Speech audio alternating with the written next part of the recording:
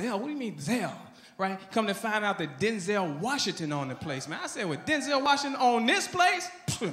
Shit, man, if Denzel on this place, man, tell Denzel to get out here now, cause my order messed up. He came at me not like the nice Denzel. He didn't come at me like, you know, John Q, a Malcolm X. He came at me raw, like training day.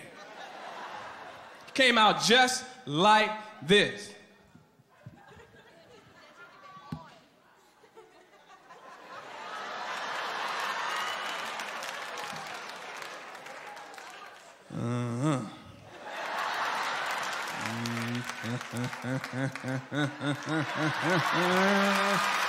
Uh-huh.